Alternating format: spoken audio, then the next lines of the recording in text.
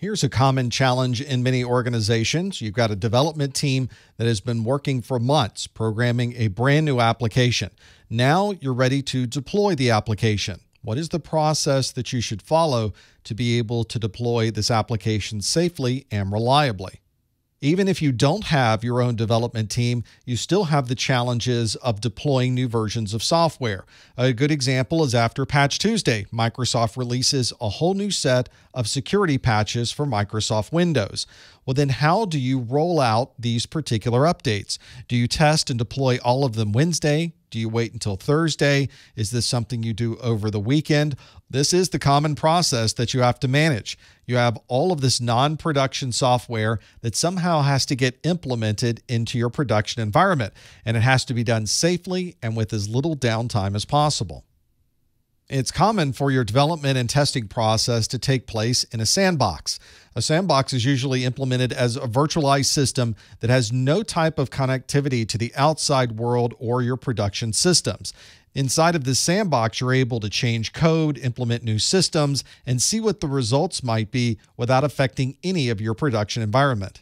Sandboxes are commonly used during the development process so there can be incremental changes made to the base code and people can see how things are changing as they continue down the development process. Once you get outside of the sandbox, you may have a secure environment available for development purposes. There may be code writing that takes place on these platforms, and the developers can then take that code, move it off to a sandbox for additional testing. The testing environment may be one that looks very similar to the final production environment. This allows developers to put code into this system, put all of the pieces together, and see if they operate in exactly the same environment that the production systems would run in. This is usually the environment that quality assurance uses to test the system and make sure there's no bugs. And if everything works in this testing environment, we can stage all of that code and prepare it for production. This staging environment is one step away from production.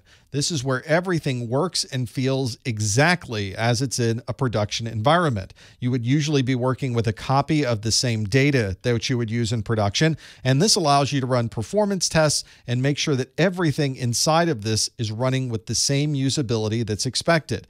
Once we've run this application in the staging environment, we're ready for production. We can make the application live and roll out all of these updates to the user community.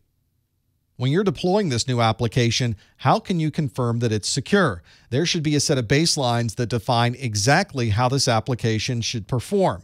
You should know exactly what firewall settings are required for this application to operate, the patch levels of the operating system that must be installed to have this application maintain its security, and all of the different operating system file versions that are required for this application to be secure. There may be constant updates to this baseline as well as the operating system patches change and as the application is updated. Once you've created the secure baseline for this application, you can then test against that baseline periodically and make sure that all of the components used with this application are maintaining this minimal secure baseline.